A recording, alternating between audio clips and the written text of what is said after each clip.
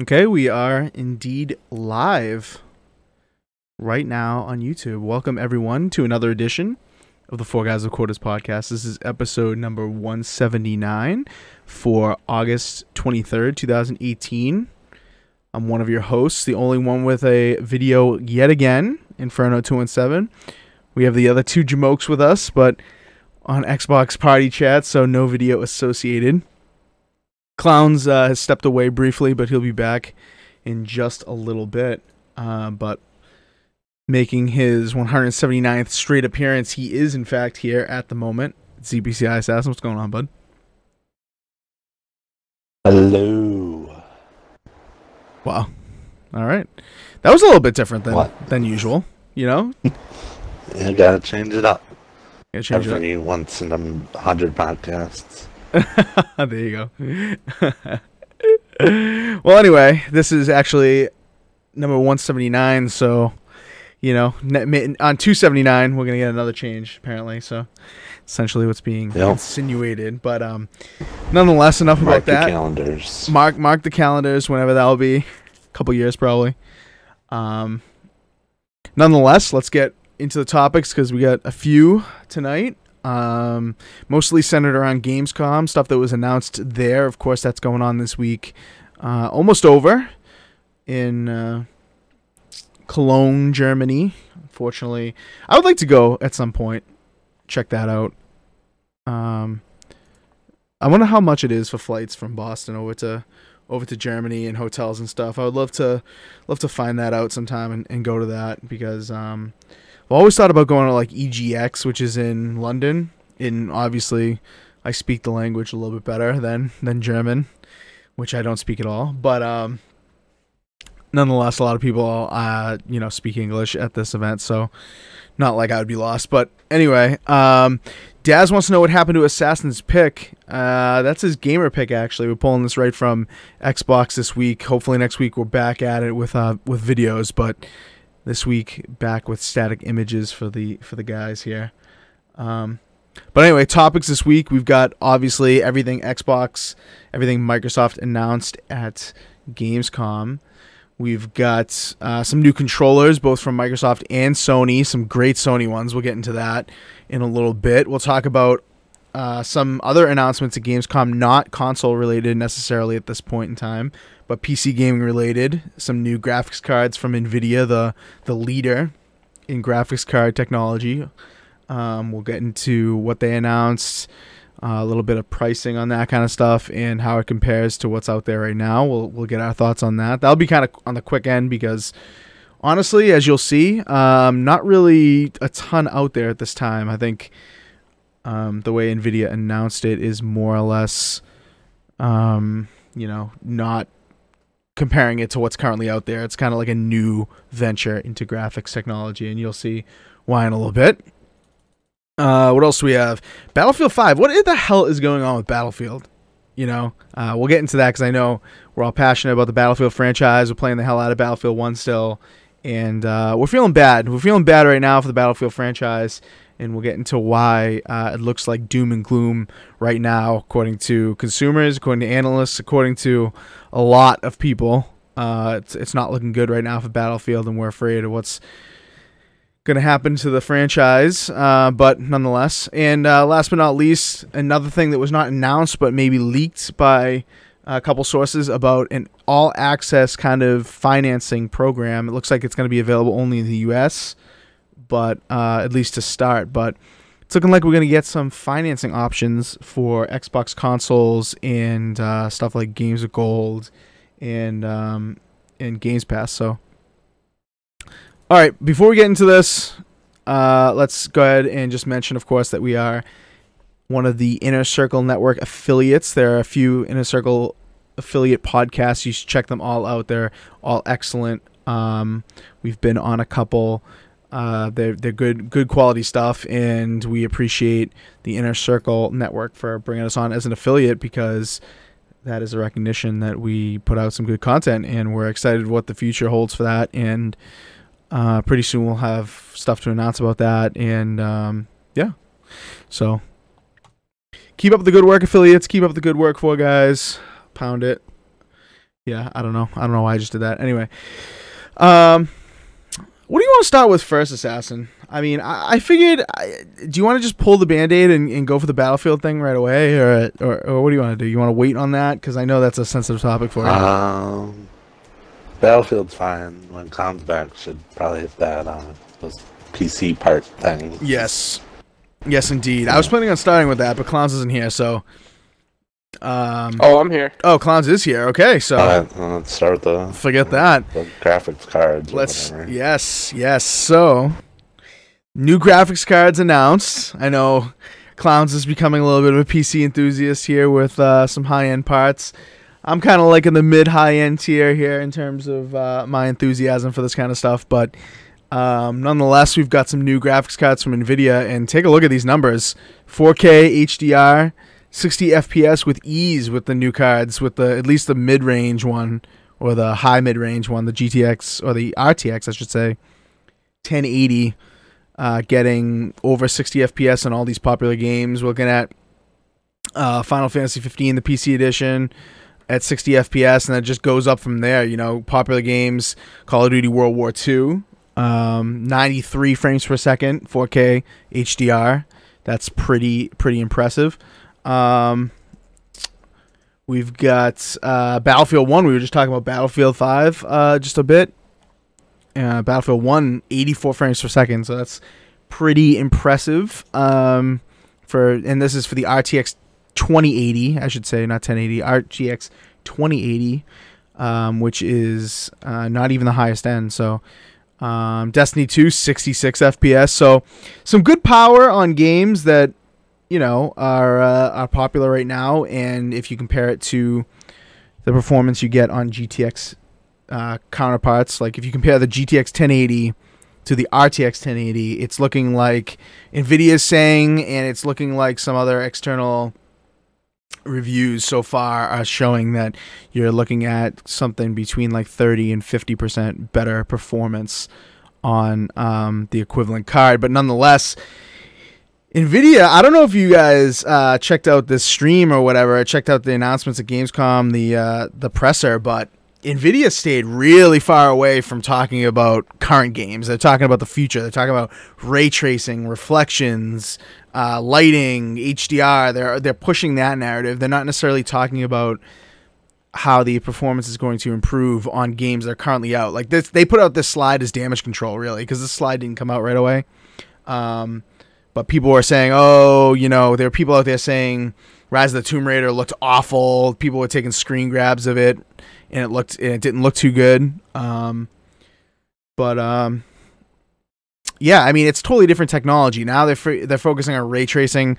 They're not focusing on like you know resolution. They're saying okay we're at we're at 4k like 4k is the thing. Fine. We're there.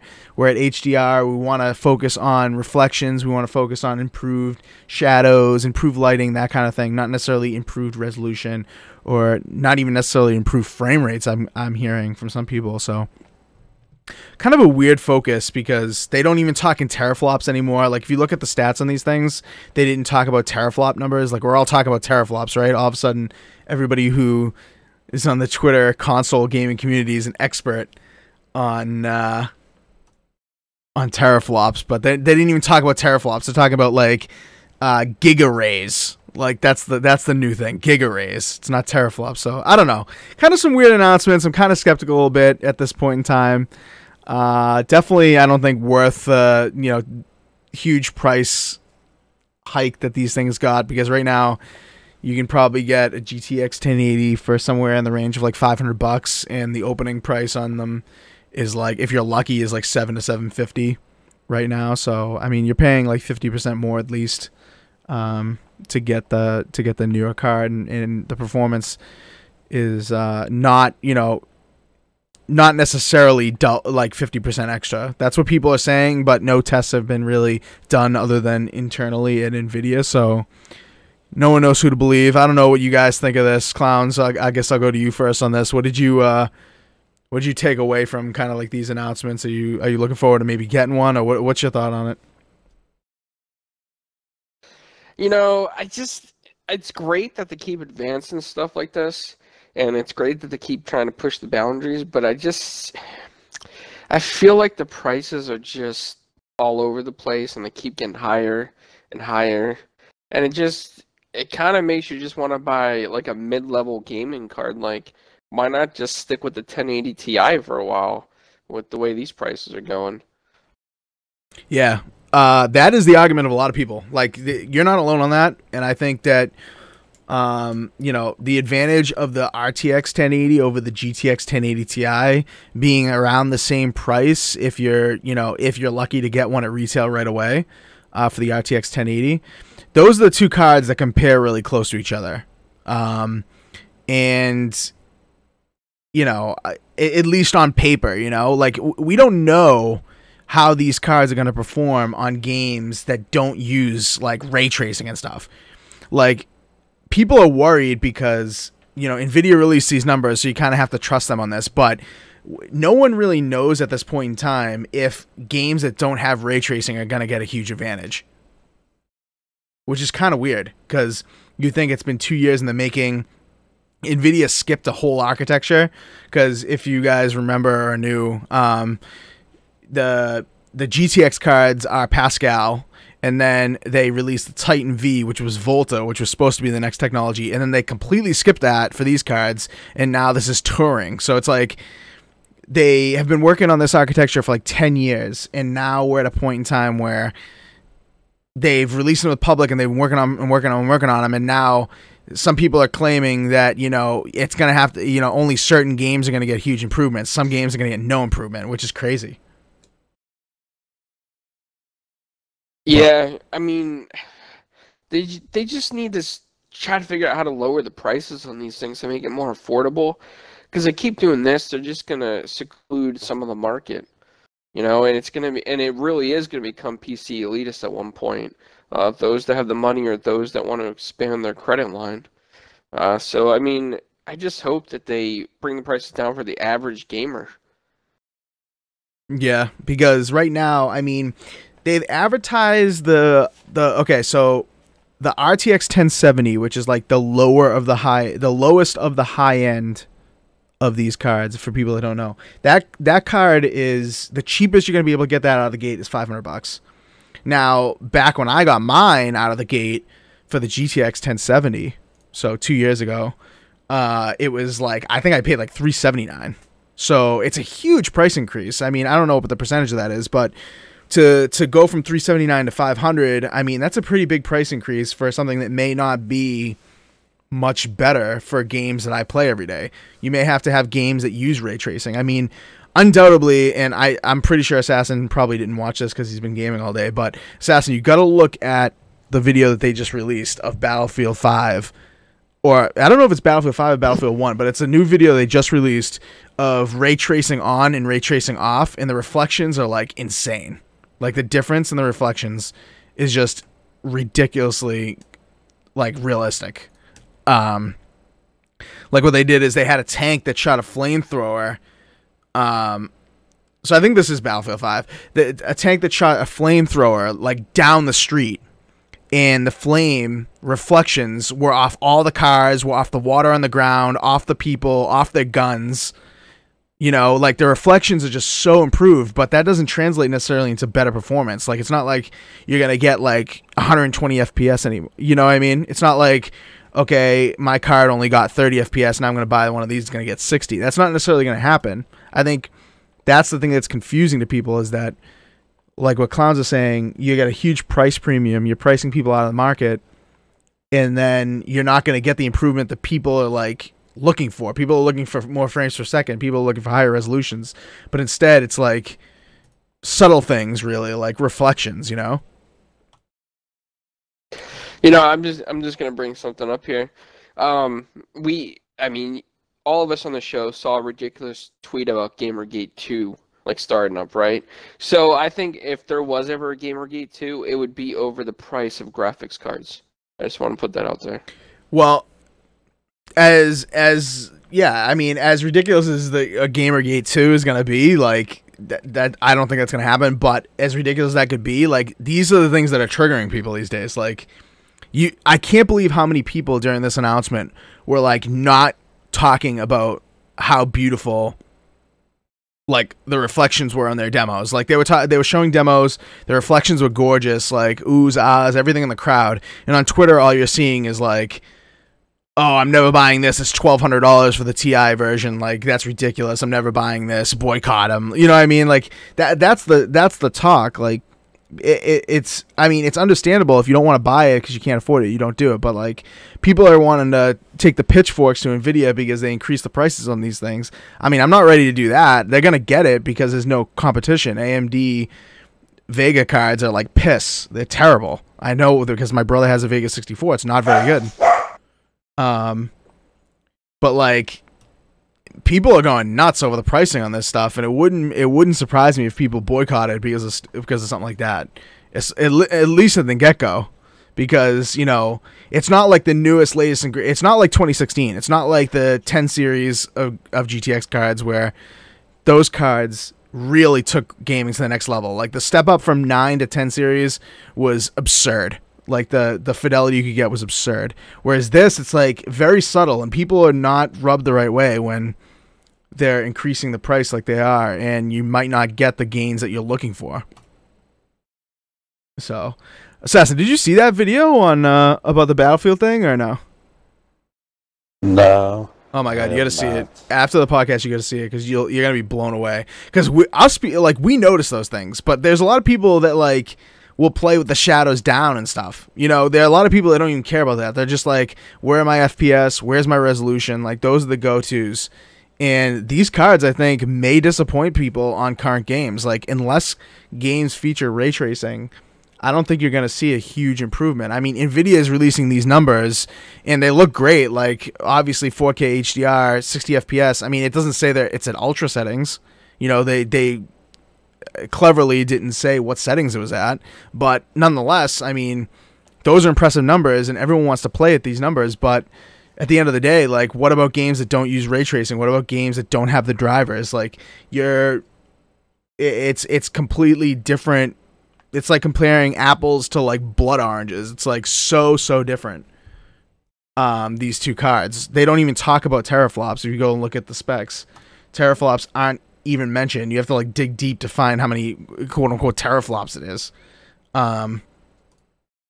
So, anyway, just thought we'd throw that out there. Um. Let me see what people are saying in the chat. Shanzu says the price is a cash grab from miners. Now I don't know how popular mining is anymore. Now AMD, I guess Vega cards were really the be all and end all in mining. I think um, AMD's graphics card line was better than Nvidia's uh, per dollar, I guess for for mining.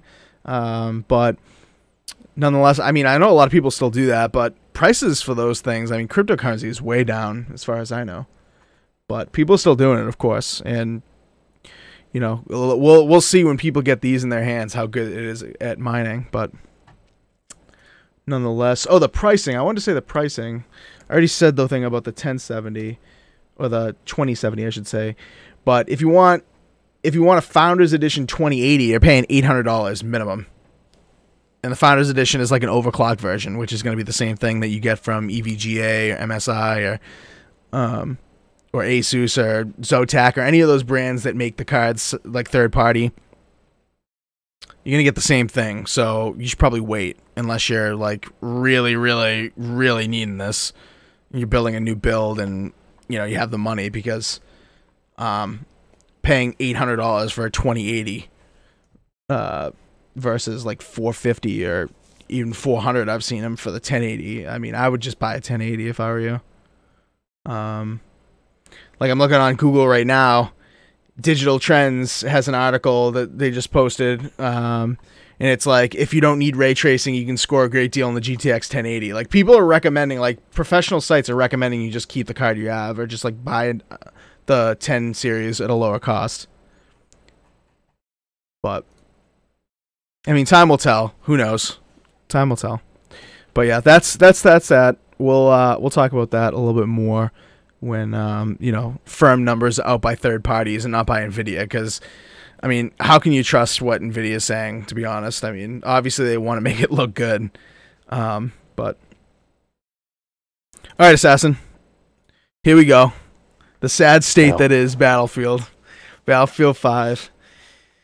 People that have been living under a rock, or people that actually haven't been living under a rock, you may not know that Battlefield Five is coming out soon uh, because the marketing has just been not very good.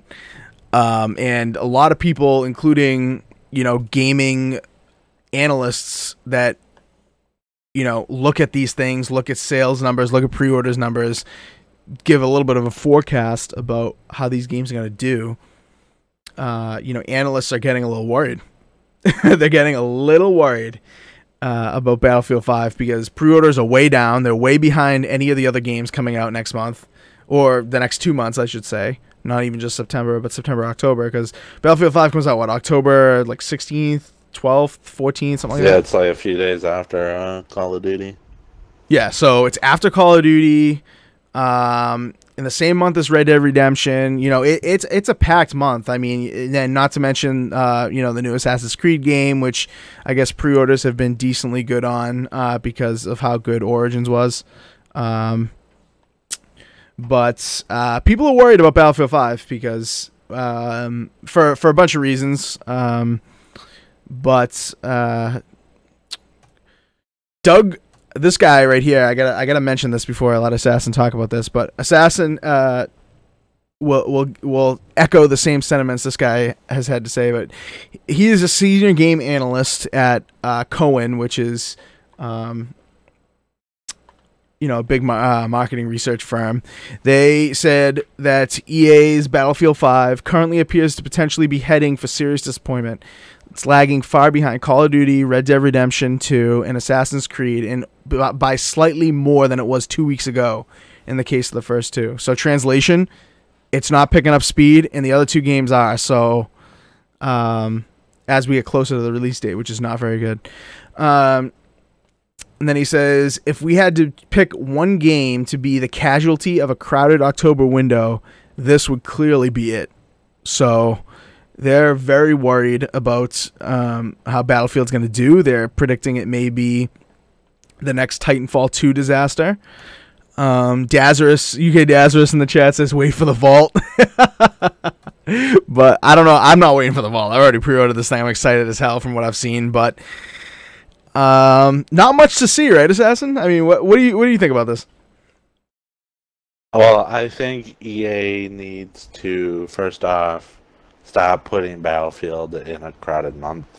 I don't know if they know like uh, when other games are launching, but I feel like a Battlefield game. I think Hardline did this, where they released like the middle, kind of in the beginning of the year, where there's not you know overcrowded games like Call of Duty and Red Dead. They you know they did this with Titanfall 2 where they put Titanfall 2 in between Call of Duty and Battlefield, which led it to die. But and then with especially with the first trailer, it didn't showcase Battlefield 5 right. It showed like some of the good stuff that's going to be in the game, but no one, you know, no one knows that that stuff you can do like rolling and you know, crouch sprinting and all this other stuff because EA's not telling us. They're giving all this information to these YouTubers, which they came out and said that they knew more than like, you know, other people because EA just shoved all the information down the throat and decided, you know, like I said, give them all the information to tell us instead of, you know, the developers telling us, which is a terrible, terrible thing. Okay, before Oh. Um, before okay, let's just stay on that point for one second because I think this is important because, um, because I think there's a direct comparison to be made on this point to the way Call of Duty's been handled, right? Because, um, in terms of Call of Duty, in terms of um, I, I don't know if all three of the studios have been as vigorous in doing this. What I'm about to say, but I know, um, I know uh, this time around for for Black Ops Four, um, and last time around for Black Ops Three, there were there were live streams uh, with developers, with community managers. There's been um, there's been a lot of transparency. There's been uh, very publicized events that people could watch the people who actually made the game talk about it and tell us what's new and tell us what's great about it and why we should buy it. And here's Battlefield having nothing of the sort and just resorting to who they perceive to be more popular YouTubers taking on the task. And it's really making it look like that they're not interested in it. It's making it look like, at least to me, it's making it look like that uh, you know, they think it can just sell itself because of how, you know, Battlefield 1 did pretty well, Battlefield 4 did pretty well. Um, you know, Hardline not so much, but uh, you know, they they I think they think that people are just the the fans will come, the fans will come. They don't need to, you know, beg anyone. They don't need to show up. They don't need to show anyone anything. They'll let uh, you know, not necessarily free marketing because we know it's not free necessarily, but they'll go the cheaper route and just go for YouTube instead of, you know, doing it themselves. I mean, isn't that? What do you think about that?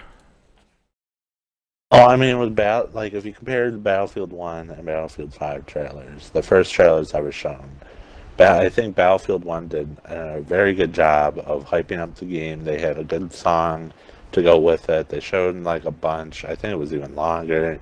You know, it, it just it got people hyped. I think that you know that's the point of the trailers is to get people hyped.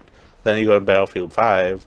You know, you see, um, you know the the dead horse on the car or whatever. You see the the lady with the prosthetic arms and you know with the sniper rifle, which is a whole different situation with the lady people. You know, um, soldiers um, and then the, the customization, and then you know then you get to this you know to the end of the trailer, and while it looks cool, it doesn't show what Battlefield is, and for maybe people looking in, they're thinking, oh, Battlefield is taking more of a Call of Duty approach, when in fact, you know, you watch a YouTuber play, you know, the alpha, which they had two of, it looks totally different. And that's, you know, one of their problems that they're just having.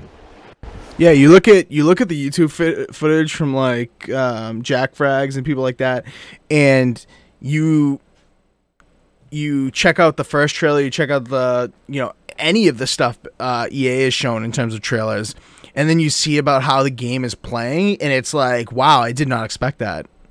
You know what I mean? It's like, wow, I did not think from what I saw in these trailers that you'd have this, that, and the other thing. Like it's if it weren't for the YouTubers, you would have no idea about cool new features like you already a few like you already mentioned, but others that I'm kind of looking forward to like being able to tow like AA guns or stationary weapons or uh you know, um you know, uh, different ways of vaulting and uh, in the destruction taking a whole new level of uh, not only like damage from the outside but implosion from the inside as well. And um, you know stuff like that. You, know you don't even you don't even think about stuff like that if you look at those those trailers and then uh it's like oh that's kind of cool. Um if i went on youtube to check this out then i'll find it out. But if i don't then you know i'm thinking battlefield 5 is like not that interesting to be honest yeah, and they they they got to just stop giving the YouTubers like all this information. Like obviously, a bunch of people are watching streams and watching YouTube these days more than you know anything else. But again, you know, you go to you go to E3 or watch you know the E3 or Gamescom, and you see this like, and you know, like if you're you know 40 years old, you, you don't watch YouTube. You you know you're not you're not into that type of thing. You watch this like you're not interested. I mean, you might be if you're a Battlefield veteran, but you know, someone who plays Call of Duty, it's definitely not giving you a reason to switch. Yeah. Yeah, and you can't and you can't rely on people coming to get your game anymore. Like you can't do that. I understand that the media exists like Twitch, Mixer, YouTube. Uh, you know, the stuff exists like they're broadcasting esports on TV. I understand that it exists the media exists for people to come seek you out more than ever. But uh, then again, it also it can be the flip way. If the flip side, the the media exists for you to push harder in multiple avenues to ensure that your message is being seen. And the messaging is bad from from EA. The messaging is bad. Um, if you count on YouTubers to push a message, YouTubers have wildly different opinions. You can't. I mean, it, gone are the days where I think. Well, I think. I mean, I may not be right because maybe it still is occurring. You know, in backdoor deals. But gone are the days where you can just like message a YouTuber and tell them exactly what to say, and that's that. You know, the the transparency on that kind of stuff is huge now, and people make a huge deal if if YouTubers aren't transparent now. We've talked about that in the show a ton, where people get in trouble for not being transparent, and uh, tr- with transparency comes honesty, and with honesty uh, comes opinionated people. And if you are depending on YouTubers to push your image when you have all these different ways of pushing your own image, like you're, it's just gonna fail. I mean, it's just gonna fail. Even even if, like you say, YouTube is the one of the most popular ways to get gamers' attention, it still doesn't matter because you know uh, giving access to multiple YouTubers comes with multiple opinions and multiple ways of the same thing being shown. Like, how many reviews do you watch of games where the same feature is talked about like five different ways? You know? Yeah, and it doesn't help like some of these features that uh, the YouTubers had on pretty much you know before the Battlefield launch trailer went out. Uh, they're not even available in the alpha. Like there was one that they talked about where you could drag your you know fallen comrades to safety before you revive them. Like right, right. that that's a cool thing that isn't in a Battlefield game, and it's not even present in the alpha. right. Like, how are people going to, you know, they could talk about it, but how are they going to show it, see how it works, you know, get feedback, you know, have, you know, other people, because they're going to forget about it. They're going to, you know, they're going to watch Jackfrags YouTube video on, on the day one of the trailer drop. And then now they're going to watch it and they're just going to be like, they're, they're going to be like, what? What's this feature? And then the beta's going to come out like, oh, I, I think I heard something about this or you know when the game comes out you know and they get it years later or months later they're gonna just forget about these things Mm-hmm. Yep. Yep. Yep. And then one thing we haven't really touched on just a little bit Yeah. was like all the ea's trailers is all about customization. I Oh think we kind of get the God. picture after one of like the 10 videos they posted. We get it. You can customize head to toe all your people all your guns all your vehicles. You you get you know I, I I think they want to push it just a little bit that saying that there's no loot boxes you get for playing the game there'll probably be direct purchases like you see in Fortnite where you spend a bunch of money and you'll get the item without you know having that RNG but I mean every single trailer having that in there that that's a bit much Yeah, they're thinking that that's they're thinking that that is like the missing elements of Battlefield that's like holding some people back. They're thinking that that is uh like they they're seeing how people are responding to Battlefield 1 and trying to translate that into the next game and saying, "Okay, what's missing from Battlefield 1 that's like holding us back in the genre?" And I don't even necessarily think it's holding us back, but I'm playing devil's advocate a little bit here and saying that uh, that's like the missing thing, right? I mean, a lot of shooters have customization options. Battlefield, not so much. Like Battlefield, you have skins for your guns that you can unlock, and um, I mean, yeah, I guess that's kind of cool, but minorly noticeable out in the battlefield. Like the the in the customization things in Battlefield Five that they're talking about. I mean, they're kind of cool. I'm not gonna lie, they're kind of cool. But once you show them like a million times and not talk about your gameplay, it's like you're making a cool thing into shit. You know? Yeah, it, it, it shows that maybe they put like let's say like hundred hours into making the game, which clearly they, they did not they did not do that.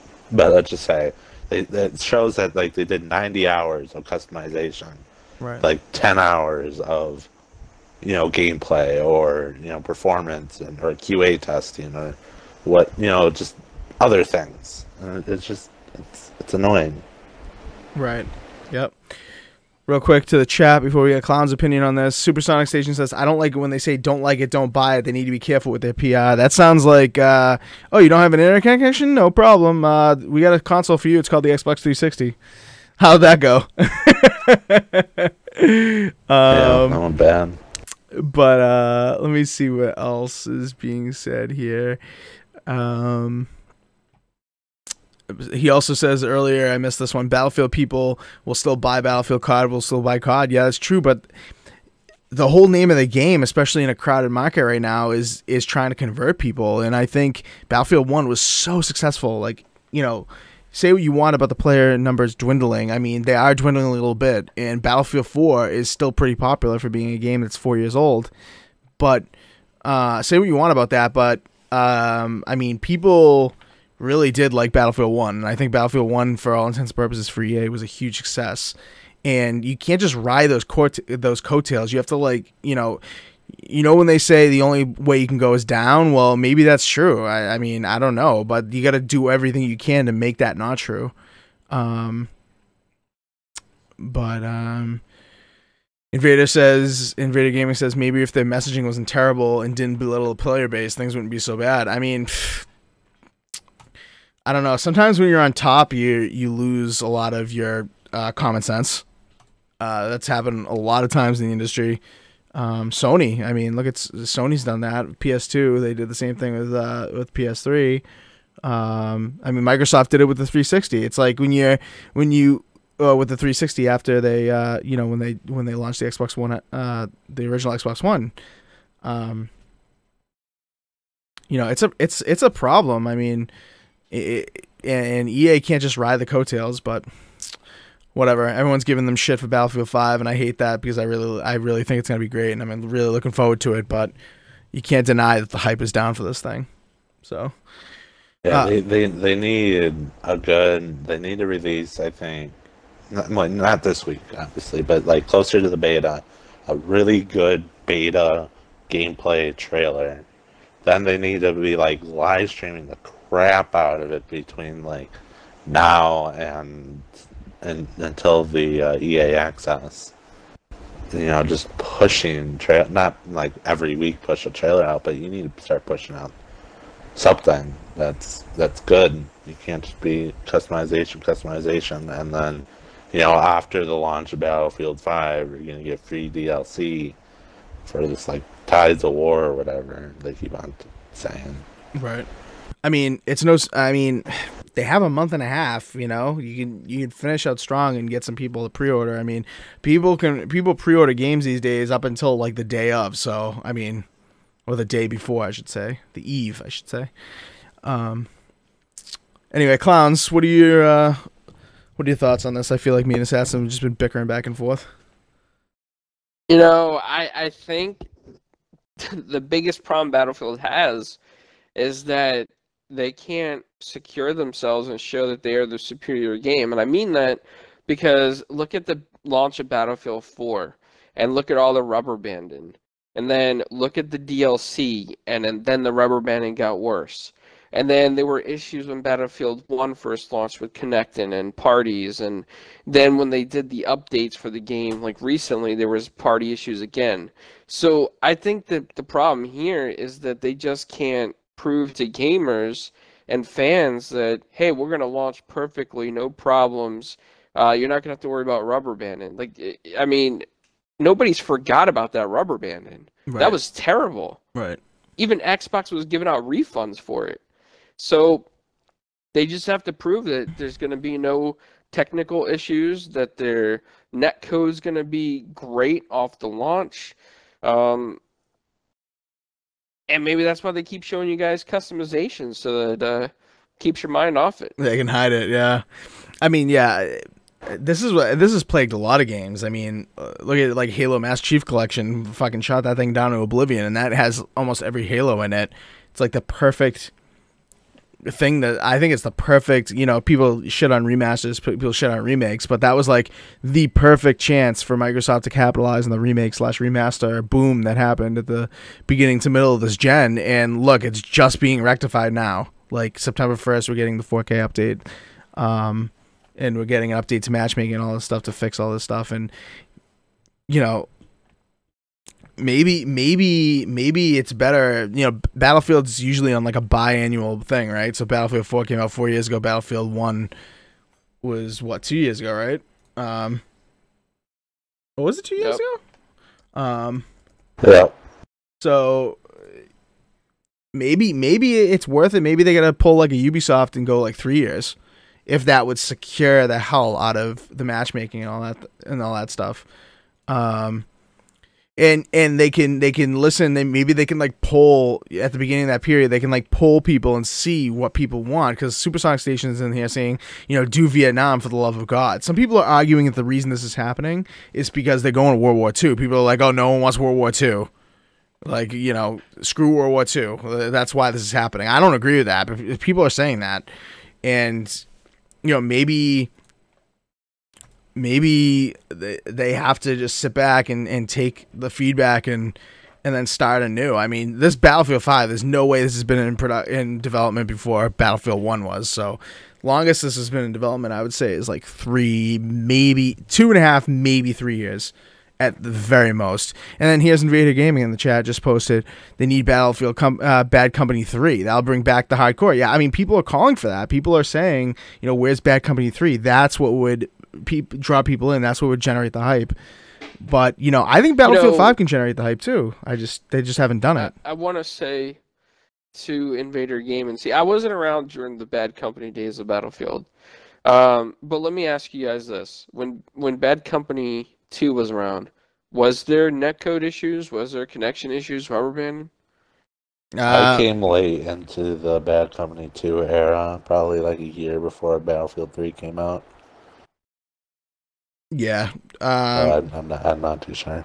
you know, even at the beginning, it, it, like maybe the very beginning, it wasn't very good, but I mean, it was ironed out pretty quickly. I mean, that game, for all intents and purposes, is very stable. Uh, you know, I don't know if they had dedicated So- servers on that thing, so maybe that was part of it, but you know, I think it might have been peer uh, ho- peer hosted still, but That could be, you know, a reason why people are calling for like Bad Company Three is because they remember, you know, how great Bad Company Two was. That you know they didn't have issues on that like they did uh, BF4, um, and Right. it brings back good nostalgic memories. Yeah. at the same time. So I mean, solid netcode, fun times, good memories, no issues. You know, I mean, that all makes a great game right there. Yeah, Yeah, but some of the devs came out and asked what made Battlefield Bad Company 2 good because they don't even know. Some, like, so I don't know if they can even live up to the hype of Bad Company 3, knowing that they don't even know what made Bad Company 2 good. maybe the maybe the the name is enough, and maybe just like I don't know, maybe going back to that storyline or something. I don't even know if it was the storyline. It's just, um, and Daz says in the chat, this chat is full of bad company. Wow, jeez. Um, you know, maybe maybe it's part of what what clowns are saying, like the good old days of just like jumping on with your friends and not having a problem, and and you know, um, just just getting it done. You know, what I mean, just gaming and- not thinking about all these issues that just arise in gaming and online gaming these days. You know, as f- as far as online gaming as it has progressed, it's just like you know, we've got like on consoles, we've got like 64 player servers. We've got one versus 99, you know, on battle royale games. We've got like ridiculous amount of people on screen at one time, and uh, you know that's an improvement in of itself. But yet, you know, people are nostalgic about like the 5v5 days of Modern Warfare 2 or the 5v5 or the 6v6 days of Bad Company or 8v8 or whatever it is. You know, um, I don't know. They, they need to take a page from Black Ops 4. As much as it's getting shit for it, they need to remove that mul- or not multi wow, campaign because Battlefield uh, campaigns are pretty mediocre. They're probably the worst FPS campaigns I've ever played. And then they stop. They they need to take away. I think there's going to be a co-op mode in Battlefield uh, 5. They need that gone, and they they should just stick to a multiplayer only game. Yeah. Put more resources to it. Yeah, see that's see that's the thing. Um that that's the thing about what that's one of the things that made Bad Company 2 and 1 good is that the campaign was excellent. You know, that was one of the things that people remember um being very very good about that of those games and I think the other Battlefield games have such bad campaigns that it's just like what I mean, what's the next best Battlefield campaign? Like Battlefield 3's campaign wasn't very good. Battlefield 4's wasn't very good. I didn't even See- finish Battlefield 1's. I mean, Hardline was probably the next best. See, I hated Bad Company 2's campaign. I thought Battlefield 3's. Uh, I think the first half of Battlefield 3's campaign was good. Hardline, I think, was more consistent on being tolerable, but like Battlefield 1, like it was hard to fully enjoy it because of the war stories. Like you started getting into it, and they're like, "Oh, it's over. On to the next story." Yeah, yeah, no consistency. Yeah, yeah.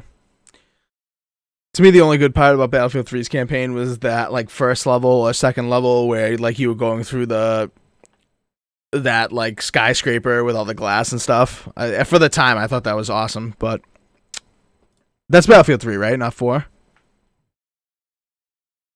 I'm trying to think. I believe it was I'm pretty sure it was three. three. It's been a very, very long time. Oh my I God. that campaign. I know in Battlefield Three you had like that tank mission, which I thought Yeah. was fun. Oh, yep. yep and then yep. you got the jet, the jet one, um, somewhere in there, and then I think you like had to attack a certain city and stuff. Like yeah. you know, as like as, as a war or whatever. And I thought that was that was fun. And then really all I remember. Yeah, I remember. I remember that. I remember that mission in the skyscraper uh, with the glass because I thought that that was so cool. How you can like shoot through all that stuff and all the glass shatter and everything. I thought that was really, really next level. I remember that Battlefield Three was just so have next level. It might have been Battlefield 4 because I think the skyscraper was uh, almost an exact copy of the. Uh, oh, what was that map in Battlefield 4 that the skyscraper would fall? I think it was like Um, based off of that that skyscraper. Siege of Shanghai, or whatever. Yeah. Yeah. Um, Stick says Battlefield 4 campaign was okay. I I wasn't a fan of that. I was Felt tacked on. Like Yeah. they didn't have time to to make it. Yeah, I mean that's what a lot. That's what a lot of them are. That's that's the thing. Like that's why people are okay with FPS. Uh, you know, multiplayer focused FPS games. Getting rid of the the single player. Like, I feel like no one's talking about that Black Ops Four campaign anymore. Like that was such a huge outrage, and then the beta it, came. it's it's still brought up. Like you, you hear Black Ops 4, like, oh, I'm buying that. Like, how can you buy it? It has no campaign. Like you you see that occasionally. Just look at the, the Twitter feed of uh, of a Treyarch uh, post or a Call of Duty post. It's like no campaign, no buy. The fact is, no one Yeah, plays the campaign, Yeah, those- and you can see the percentage of how many people own the, the game and you know beat the first mission. Yeah, dude, those people are buying it. I mean, these people are talking a big game right now. They're buying it. I mean, uh, we're not going to get into this right now because I could go on forever. But I mean, Black Ops Four is excellent, and I people are going to buy it. I mean, they're just going to buy it. They're going to play Blackout. If Blackout's like half decent uh, and runs really well, the, the people are buying it, whether it's going to campaign or not. Like people are talking a big game about the campaign. You're right. Like no one has any of the single player achievements. A lot of people don't even touch it. It's true. It's true. But all right, we're gonna move off the topic because we've been talking about this a ton. But let us know in the uh, in the comments, chat, hit us up on Twitter. Let us know about what you guys are thinking about um, about what the state of Battlefield Five is right now. Because sadly, I think it's not very good. But um, it'll do fine. It'll do all right. It's not gonna be as bad as Hardline, but um, it's definitely not gonna. It's not. It's not looking as good as Battlefield One. I'll tell you right now. Um, all right, let's move on into what uh oh, not that. That was the wrong slide. Let's move on into Inside Xbox. So, a lot of stuff got talked about by Microsoft at Gamescom. Uh jury's out on whether any of that stuff was good. Um they showed a bunch of games, uh a lot of stuff we already knew, hardly anything we didn't. Um got some uh some new information about a bunch of games. Um like Fallout 76, we got some new information about. We got some, uh, you know, some some gameplay footage of Forza Horizon 4. Some new uh, information about what the multiplayer is going to be like. The team el- the team elements of multiplayer on Forza Horizon 4. Some new information about that. Some new DLC of, uh, that looks pretty good in my opinion for State of Decay 2. Uh, kind of like a horde mode for for that game. Um, PUBG is gonna be getting uh, full release next next month. Um, getting that 1.0 release out of out of preview program, out of beta. Um, what else? I mean, uh, everything else I feel like we already pretty much knew. I mean, uh, what did you guys think of it inside Xbox? It it was an hour too long. It should have ran for like over two hours. Uh, the segments that were really long, like PUBG, wasn't really needed. They could just talk about 1.0 and then you know and stuff coming. That would have been fine. Um, I think it didn't show great, but I think it piqued my interest more than it probably would have. Um, I wish they showed like gameplay and stuff, not just fucking uh, terrain and stuff. Um, but what stole the show for me, which was like the first thing that they showed, besides the tour of Germany, was a Hunt Showdown. Oh, I f- you know what? I the rest of the show was so boring. eh, I forgot all about that. I forgot all about that they even Yeah. showed that. But yeah, that looked good. Um, I've been wanting that for a long time on console because I wanted to buy it on PC, and I keep thinking like, who am I going to play this with? Um, but now Right. it's on console, I'm gonna go. I I'm definitely gonna go for it. That, that looks like a really cool game. Um, but yeah, I agree with you. Way too long. Um, as usual. I mean, fuck. It's what is this like the fourth one they've done, fifth one, something like that. And uh, same mistakes, same same shit, different day. It's just it's crazy. It's absolutely crazy. And Gamescom, Yeah. everyone was like, wait for Gamescom. Everyone was like, wait for Gamescom, wait for Gamescom, right? Um, but like we've waited for Gamescom, and like, was there anything about Crackdown? I don't think there was anything about Crackdown. Um, I don't think there was. I mean, Battlefield Five, like we just talked about. Um, we'll we'll, talk about in a, in a second about the new console that they're uh, the the special edition console, which is cool. But in terms of the game, nothing really. Metro, they they showed some gameplay about Metro. Uh, that looked really good.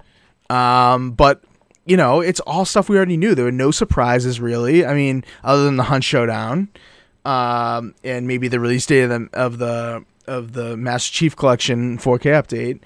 Um, but I keep calling it the 4K update, but I shouldn't because there's a lot more than that. There's matchmaking improvements, all that kind of stuff. Yeah. Um, but I keep saying 4K update because that's what it's like. You know, I, I'm thinking about Xbox One X. I'm thinking about 4K update, but um, and you know, we saw Ori in the Blind Forest, Will the Wisp gameplay. I mean, great. Um, you know, uh, state the state of decay thing. I think it was pretty cool. I already said that, but uh, that that's I think that's gonna kind of get me into the game. Um, you guys play a lot of Sea of Thieves, uh, Assassin and Clowns. Were you impressed with the Sea of Thieves stuff? I thought that was kind of boring. Yeah, well, I think Clowns and I are at a point where Sea of Thieves is not really dead to us, but like we got to a point where we hit Pirate Legends. The Athena's quests are extremely boring, and like we're kind of just sick of. I mean, a lot of people probably argue with us, but the like the forced cooperation of certain things, like the the DLC that's going down now. Like, yes, you can probably do it solo, but like it's more of the time thing and trying to get people together, and it's just it, it's annoying. And I I think what they showed, like the island and volcanoes, seems promise, but and uh, the new merchant and items they're bringing to that merchant, you know, Oh, piqued my interest. But again, like they'll probably screw it screw it up some way, you know, in some way, shape, or form. Sorry, my dogs just went crazy, but I did. I think we heard everything you said. But yes, I. It's sad with the Sea of Thieves thing because you know it. Like I know they were trying to stun with that announcement. Like I know that announcement was supposed to be good because they were like, okay, September nineteenth. Like this thing's coming way sooner than anyone thought. Like who thought that thing was coming this soon, right?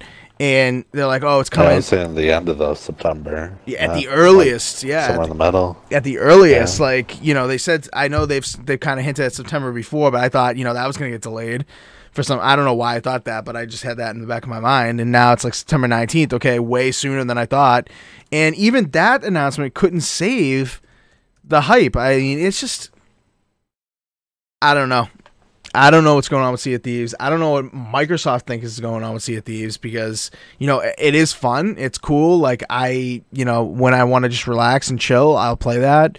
Um, and you know, I wanna, I do want to get back into playing that in short spurts, but it's not like I'm gonna dump like five hours in that thing. It's not like I'm gonna, uh, you know, it's not like I'm gonna go go into Sea of Thieves as my game of choice after a long day of work and like plow away at getting, um, I can't remember the name of it. The 50s across the board. What's the name of it? Pirate Legend. Yes, Pirate Legend. Like I'm, I'm, I'm all set on that. Like you know what I mean. Like I know you guys are kind of already there, so it's not, it's not, you know, you can't really, you know, you've you hit that, so there's nothing for you to play for. But there is something for me to play for, I guess. But it's like not enticing enough, even with all this new stuff. It's sad. It's sad. Um, clowns, any thoughts on any inside Xbox stuff, like games shown or anything like that? Is he not Uh, here? Oh, he's here. you know, I for, I forgot that Xbox was even at Gamescom. I mean, did they have a show there? Because what I, because I what I remember is that Major Nelson was talking a lot, and they cut the camera on him like twice, uh, and then he touched some fancy car with gloves on. I thought maybe he was paranoid of germs, and then um, PUBG, lots of PUBG. Like, I mean, come on, get over PUBG already. Either buy the damn thing exclusively or just get over it. Uh, it's time to to move on. There's there's so many games out there, and I feel like Xbox has focused way too much attention on PUBG. The game is is I mean, last time I checked, it was losing player base. I'm not sure if it still is, Oh yeah, definitely. but it can't even run run. It's not even running as good as Fortnite, and Fortnite's more like a comical, cartoonish game. I mean, I mean come on, man, get get the game running good, and then and then back it up and talk about it exclusively. But just move on from PUBG. I'm so tired of PUBG this, PUBG that, and then everybody gets all mad and defends PUBG because it's on Xbox. The thing never even came to Xbox, but people still defend PUBG. You know what I mean? Like, Yep. Yep. come on, Xbox, get over PUBG. And then you know the Sea of Thieves stuff, like Assassin said, I think uh, we're kind of fed up with the forced cooperation. Um, it's not fun to be forced to cooperate with other people.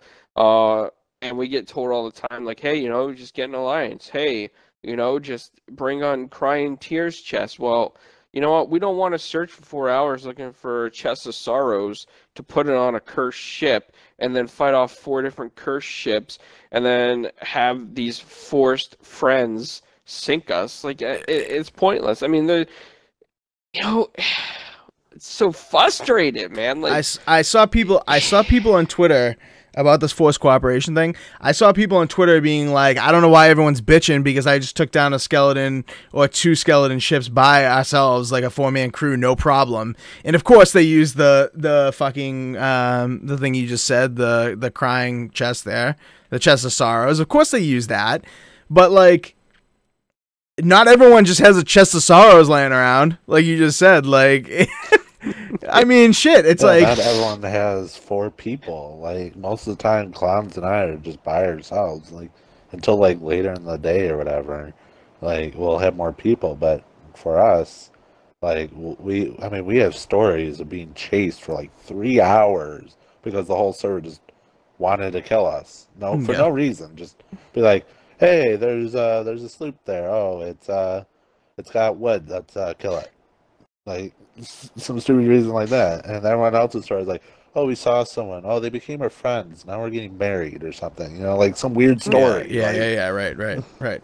It- it- it- people, that's the thing about Sea of Thieves. Like, people have different experiences, and you can get very lucky with the server assignment, and you could be like that guy that had Pirate Legend, like, within a few weeks or whatever it was. I can't remember how fast he had it, but he had it insanely fast, and he had people helping him out with chess and with skulls and stuff. He had he had people, uh, you know, he was able to get into servers where no one attacked him and stuff. But that is the that is not the norm. Like if you've played Sea of Thieves, you know that, and you know that, you know these people saying that the forced cooperation isn't a thing. Like it's a thing.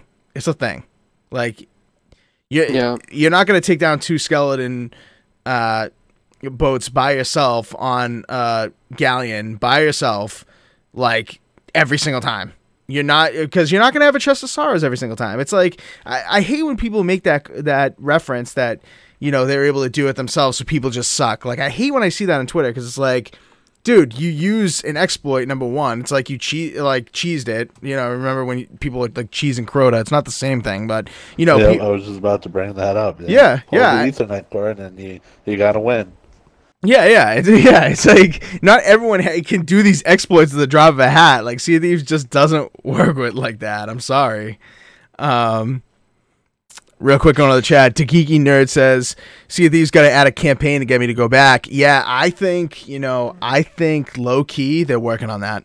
I think they've got to be. I think the the you know, as I love Rare. I think Rare is an incredible studio. I think they've done an incredible thing with Sea of Thieves in terms of um, setting the groundwork for a game like this, and I think that the the atmosphere is there for them to make this game something special and i think they've got to know that the writing's on the wall that they've got to come up with some sort of campaign that's meaningful um you know maybe some like talking uh npcs maybe like something something to get people excited again.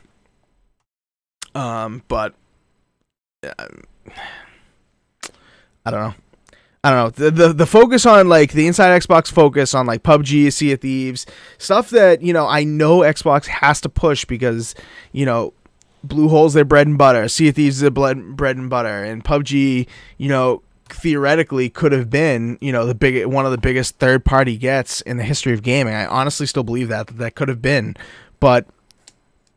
And it's not necessarily Microsoft's fault. Like people are saying, whose fault is it? Is it Bluehole's or is it Microsoft's? Like, I think the blame is both ways. I think you know, or is it Rare's or is it Microsoft's for Sea of Thieves? Like it's both. It's both. So I mean, I don't know. Anyway, let's move on because Yeah. Oh, go ahead, go ahead, clowns. Go ahead. Bless point. Go ahead. I was just gonna say that another thing too with the Sea of Thieves thing, and then everybody just keeps reiterating the positive stuff. Nobody wants to talk bad about the negative stuff or bring up the negative stuff, and I think that you know we just keep reiterating the positive without looking at the bad stuff in Sea of Thieves. And if we just keep ignoring the bad stuff, it's never gonna get better. So I mean, there's a lot of fans just defending Sea of Thieves, and you know I love Sea of Thieves, but there's things that need to get better for it to be a great game at this point. Yep. Yep. Absolutely agree. And this is coming from, and people are gonna, you know, maybe in the comments or on Twitter, they're gonna be like, "Oh, like you guys know what you're talking about." Blah blah blah. I mean, these are two guys here. I can't claim it myself. I've put some hours in, but nothing like these guys have done. I mean, these guys are diehards, and on Sea of Thieves, the you know these guys are authorities and know that, you know, you can keep trying to love it, and there are people out there that will make their own story and, and can use a and can use a sandbox and all that. You know, it is a sandbox. You make it, whatever, and blah blah blah. But like, you know, that's not for everyone. So it's time to it's time to realize that it's not for everyone. It's time to realize that you're getting shat on by a lot of the community for missing some very key things. And I understand that, you know, people say it doesn't matter, like they're making their own game, whatever. Like to a point I do agree. Like they can do their own thing. It's their intellectual property and there are people that do enjoy it and they do have that subset and there are a lot of active players still on it and blah blah blah. But like sometimes you have something that will could just be so much bigger than it actually is and you're missing it because uh you know you're you're dead in your ways and you you know it maybe it's great for some people like you know there are people out there that still swear by the game. They play play it every night. They get their galleon going and you know they have a ton of fun. And to those people like you know keep living the dream dude. Like keep keep playing that game and keep enjoying it. But at the same time like just because it's good doesn't mean it can't be great for everyone so all right up There's going to be a point where uh, Skull and uh, Bones or whatever that Ubisoft pirate game is going to come out, and no one's going to, you know, play. Well, there'll probably be people still playing Sea of Thieves, but you know, it's going to take overtake all the pirate talk. And when Sea of Thieves announces something, they'll be like, "Sea of who?" Like yeah yep that. That's if Skull and Bones is good. I mean, it looks awful, but Right, who knows? Who knows? But you know what? Pe- you know what? It's gonna get it's gonna get more hype than it deserves, maybe because I well I don't know that I shouldn't say that, but it could potentially get more hype than it actually deserves because people have Sea of Thieves on their t- on on the tip of their tongue, you know, and people are like looking for uh a store, a more of a story experience, and I feel like with Skull and Bones, they're gonna get it, even if it, the mechanics are not very good. You know, even if it's generic. Yeah. Um, but anyway, let's move on. They announced a lot of uh accessories, and by accessories, I mean hardware. Um, and they didn't announce any new consoles. Like they didn't announce like the Xbox Two or like the cloud service or anything like that. But um, we're running a slideshow right now. They announced four consoles, um, and I think you know let's just go through this really, really quickly because I mean, other than the Battlefield one, it's literally just consoles with games for a discounted price, in my opinion. Um, but Yep. all of them, you know, it's it's not just like the console with just the game. It's the console with game with you know uh, EA access. Uh, if you're if you buy the Battlefield bundle, it comes with EA access. It comes with Battlefield uh, 1943. It comes with the deluxe edition of the Battlefield game, and it comes with uh, a special edition Battlefield console that has like a little bit of gold on it, kind of like the Project Scorpio has a little bit of gray on it. Um, the this one has a little bit of gold. I can't remember what they call that. Um, what's the name of that?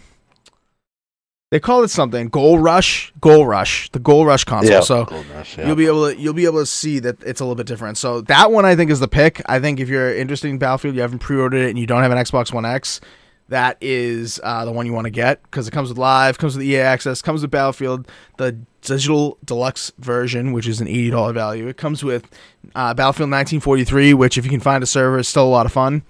Um, and Xbox Live Gold, I think I mentioned that. Five hundred bucks. Uh, Assassin thoughts on uh, on that console?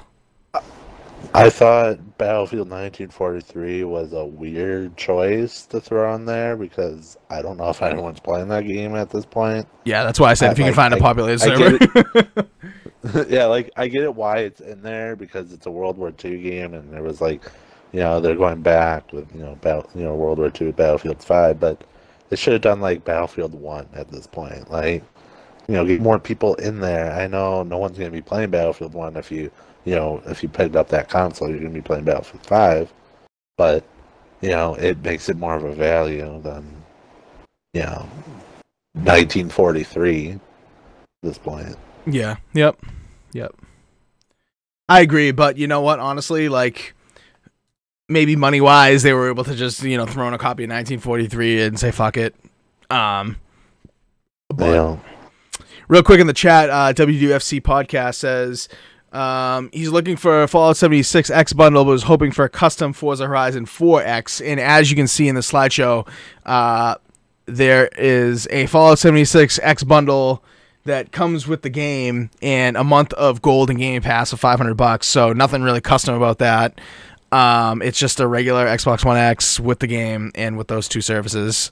Um, and for your Forza Horizon bundle, uh, not a custom console like we probably would have expected, but instead uh, you get Horizon 4, you get um, Motorsport 7, which is pretty good, looks incredible. Um, and you get a 14 day trial of Xbox Live, and that's for $500 as well. So all these value, all these bundles have value. It's not that. It's just that they're not custom. Like the Gold Rush one is custom.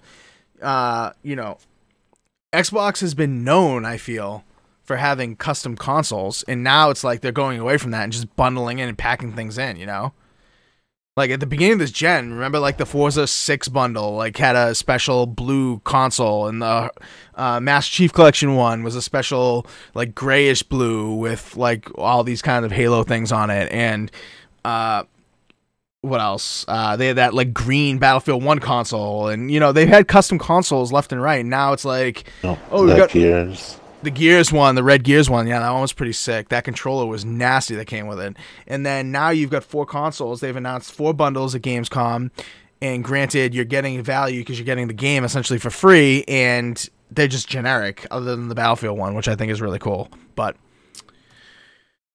Yeah, out of all of them, they should have gave the custom console to Forza. Take you know, um, like that. I forget the name of the car that's on the cover, but it's there's like very limited amount of those cars. They could have made a console based on that car, yeah, you know, yep, for the Forza, and then just remove Forza Seven if you know that is a you know deal breaker. And like, I mean, the game's great, but this is a Forza Horizon bundle. Just put it in there. and they have the ability to do it because if you go to PAX, you go to E3, you go to these uh, cons. Like I took a bunch of pictures of them when I was at PAX this year. They've had custom consoles. Like you could enter c- competitions to win these very custom consoles, and we've talked about it on this show. Um, before we've definitely talked about why they don't make them because they're probably the value of of making those consoles it's probably cost a lot more money but in the end people are going to buy these things so i mean have the have the availability but this is like cheap, you know? Like I can't really fault Microsoft for doing this cuz you are getting some sort of value, but at the same time it's like I look at a Tomb Raider bundle and I'm like, yeah, I'm getting Shadow of the Tomb Raider, but that console is just like the regular one. It's like why am I buying the bundle other than to get the game for free? Like look at Best Buy, look at GameStop, look at Amazon, like some of these like Best Buy recently is like buy an Xbox One X and get a game for free. I'm essentially getting the bundle right there. You know what I mean? It's like nothing is special about this. Deal. Um, they could have uh, took as much as we hate it a Sony approach. yeah, no, stickers on it. Yeah, no, stickers are better than nothing, man. I I'll knock. Listen, we were. I mean, as primarily Xbox gamers, we were in a position to shit all over Sony for their custom sticker consoles, and now look where we're at. It's like, you know, it, now we're like wanting stickers for fuck's sake. Um, Or if you don't want to put the stickers on the console, give us the stickers. We'll put them. we'll on put the them on. console. We'll put them on. All right. Clowns thoughts on these bundles, real quick. You got any? Got any thoughts on these? He uh, sent uh, DM saying he had to eat. Oh, okay. Well, he's gone. So, um, let me see. Stick figure in the chat says custom X consoles would be epic. Yes, people want custom consoles still. Like that is a thing. Make them limited. Just produce like you know, do do what Sony's doing. Like produce like wh- whatever. Produce like a million of them or whatever you're doing. Like uh, five hundred thousand. Produce them. Produce them. Drive up the interest. Charge. Uh, you know, 500 bucks and call it a day and get people talking about your console left and right on social media, on YouTube, all this stuff. I mean, look how many unboxings. I mean, granted, that 500 million uh, PS4, that was a special uh, a special edition. That was a real special edition, you know, that 50 50,000. Yeah. But look how many people made unboxing videos on that. Look how much like uh, press that generated. It's insane. Like even Digital Foundry did an unboxing video, which they never do. You know, so crazy. Like people Yeah. want the custom consoles, and Microsoft knows this because they wouldn't be doing bundles like this if they didn't. If they thought that people, you know, weren't weren't going to potentially buy them because, you know, people like free games, but at the end of the day, like I already said, like a lot of these retailers are offering the game for free anyway. So it's not like this is anything really that special, to be honest. What they should do is take uh, a note or whatever, a, a note from uh, their uh, what is it? Their Xbox controller design, you know, thing that you can make. I forget what the name of it is. Yeah, design. and lab. then yeah design lab and some and then some from like pcs where you can you know go into you know this design lab customize your entire xbox you know how much you know room you know storage you want how it looks you know then have like forza horizon like you know a set of like decals and stuff and let you put that on there and then you know you know obviously it would be more and more the more you put on there but it would let you customize your own stuff and you know you're paying what you want not just like boom here's a Forza Horizon 4 bundle with just the game or, yeah, yeah, yeah if they did a customization on it. Yeah, I I- you know I I've tried to talk to James Shields about this because um, you know I met the guy, very good guy. We've had quite a few conversations, mostly about headphones, to be honest. But um, uh, great guy. Um, he's on the accessories team for Microsoft, um, so technically a member of the hardware team. Um, and he, uh, I've tried to get out of him why they don't do design lab for consoles, and I think like the canned answer is that there's not enough interest to produce all those parts, and like I do kind of agree, but uh, I mean, I think people would pay like a fifty dollar premium to, to customize their console. It's just how much does it cost? You know what I mean? Like how much does it actually cost? We uh, we'd have to know that before knowing, you know? yeah Um, okay, so those are the consoles. Really quick, we're gonna talk about the controllers. Uh, they announced a custom PUBG controller. Uh, this looks all right. Like it actually looks better in pictures than it does in the video. Like when they showed it off in the vids, uh, and they showed it off on uh, Inside Xbox, I thought it looked like dog shit. To be honest, I didn't like the camo at all. Uh, but the D-pad, I guess, is uh, metallic, which is cool. Um, and the triggers have a little bit of a texture to them. So I actually like textured triggers. I think that's a cool idea. I, I like the feel of that. Um, anywhere where you can put grips on a controller, I'm, I'm a fan of. But um, Assassin, what did you think of the PUBG controller? I thought they made the PUBG controller while they had a few too many beers because it looks awful. Um, especially some of the design, like they have that uh, that like red X on one of the triggers or something like underneath it where you don't see it for uh, you know when you're gonna shoot like the wall or something. Like I, I, I don't know, but like I thought that was awful. The uh, blue circle around the left thumbstick, like I get the meaning of that. That's cool. But I like that, that I don't think it has a place on the controller because it just I think it looks out of place. Like it was just there to be there. Like where where's the red circle then? Like Yeah. Yeah. you know have have the right joystick be Just totally red. red. Have it be totally Uh, red. Yeah, like so I don't I don't know. Like I feel like they could have done That's better. great. yeah. Yeah, fair enough. Fair enough. Um, yeah, I, I personally, I think my favorite feature of the thing are the joysticks and uh, I mean the sorry the the triggers and the blue circle. The directional pad, like take it or leave it. I mean, it's probably feels good to the hand, but in terms of look, you know, take it or leave it. But I do like that blue ring. Uh, this has been done before though. I think Razer did it or uh, or whatever uh, when they did custom DualShock 4 controllers or custom Sony uh, PlayStation 4 controllers. Um, they've done the blue ring thing before, and I think it looked cool on that, and I think it looks cool on this. But I'd have to probably see it in person because I'll tell you, when I saw it in the videos, I didn't think it looked cool. So, um, the better announcement was, and I know Supersonic Station is going to give me shit for this because he just said in the chat to stop doing the design lab. But I think the cooler thing was the new design lab features, which uh, were a few like five sets of camo or four or something like that, uh, different camo options that you can do, and the new shadow option that you can do uh, in the design lab. I think the shadow option looks incredible. I think the shadow blue and the shadow red are hot, um, hot AF, uh, lit. I should say. Is that what the kids are saying? Lit. Uh, I think those are looking pretty good. What did you think about the uh, new design lab stuff? I I always loved that uh, blue uh, whatever controller. I, I, The Shadow. I just forgot the name. You just yeah, you just said it. Yeah, Yeah. the shadow. I like. I would love to customize a controller with that that uh, that paint or whatever on it. Like, Yeah. I just think that's one of the better, the best looking controllers out there. I'd also love to have it on like an elite controller, but Yeah, well, time will tell if that's going to happen. I mean, people have been saying that there's an Elite version 2 coming soon. Like, people are saying that there's some truth behind that rumor. Uh, some pretty connected people. I would be shocked if they're not doing one uh, with a few improvements that people have been looking for on the Elite version 1. And I think that if they're going to do that, I think they should just add it to Design Lab. Fuck it. I mean, why not?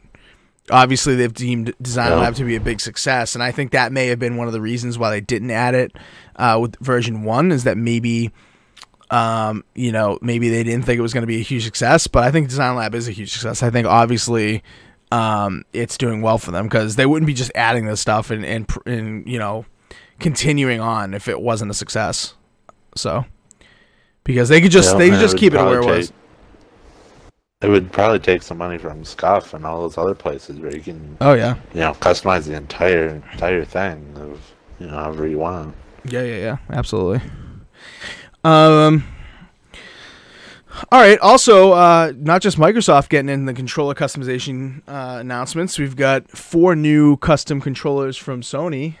So we've got the copper one, which is the one I'll be getting. We've got the blue camo. We've got the berry blue and the sunset orange. So four new DualShock DualShock fours. They're going to be sixty-five bucks.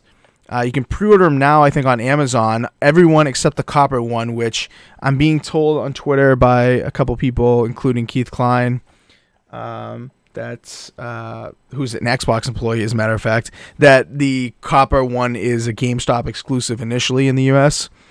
Um, but what did you think about these things? I mean, I think these controllers are hot. I think these look really, really good.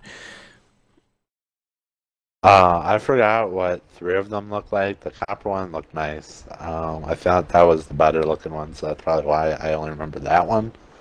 Um, I'm kind of glad Sony's doing more of these controllers. I mean, a lot of people gave uh, Xbox or not bet for all these controllers, but it's nice to have options other than you know the custom like God of War one like I have, or the Spider-Man ones, or the ugly Black Ops 3 one, which I wonder if they'll do one for Black Ops 4. Probably Yeah. not. Probably not. Um, and and then just these you know random colors. I think I think it's nice to have options. Now we just need a PlayStation design. lab. PlayStation Design Lab, yeah. and then just have like a name right on the touchpad. I think that would be a perfect spot to have our gamer tags or Oh, yeah. IDs or whatever they're called. Oh yeah, yeah. And the touchpads are people are like, oh, you can't put anything on those. You can put stuff on those. Um, Yeah, people the put stickers. War one right, has it right on it, Yeah. so you can put stuff. So. Yep. Yep. So that's essentially it. I was gonna talk about this Xbox All Access thing, but I think we're gonna hold off on that until Clowns is back because I want to get him on that conversation. I know he has a few things to say about it. So um, we'll talk about Xbox All Access next week. Maybe by then it'll be official. Um, oh, Clowns is back. Clowns, you back? Uh, yeah, I am back. Sorry, guys, a lot's going on. No Over problem. here, we're in the middle of a move, so I, I appreciate your patience. Um, yeah, but I, I agree with you, Inferno. I mean, uh, if you want to hold off and we can Yeah, yeah. Xbox next show, we could do a nice opening for it because I think it's going to be good. Yeah, yeah, yeah, absolutely. We'll hold off on that because obviously, as you can hear in the background, moving things, and I understand that completely. I'm not even fully moved into my new place yet, so um, yeah, we'll talk about that next week. But uh, other than that, I think we are done. People go back to gaming, resume your gaming activities. Uh, this podcast is over, so we will. Uh, We'll And, see you- and Daz, if you're here, drop that link. there you go. Or don't drop it and be cool. All right, find us everywhere. Four guys with quarters. Search us. 4GWQ podcast on Twitter. We'll see you guys next week. Peace. Peace. Bye.